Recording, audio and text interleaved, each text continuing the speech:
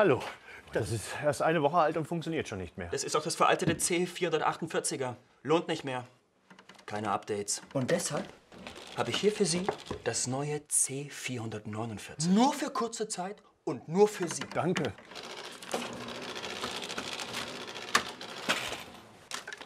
Übrigens, Sie haben gerade das C450er reinbekommen. Jetzt gehen Sie noch mal zu meinem Kollegen und lassen sich beraten. Ah, ich verstehe schon. Und hier ist schon das neue Modell. Viel Spaß da.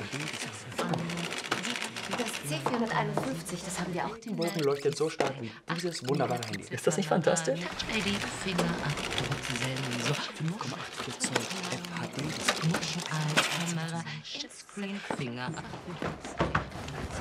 Nicht nur du zahlst teuer für dein Handy. Du kaufst mehr, als du denkst. Es ist egal, wie schnell Sie rennen. Wenn Sie zu Hause sind, ist das Ding eh von gestern. Reduziere, repariere, recycle.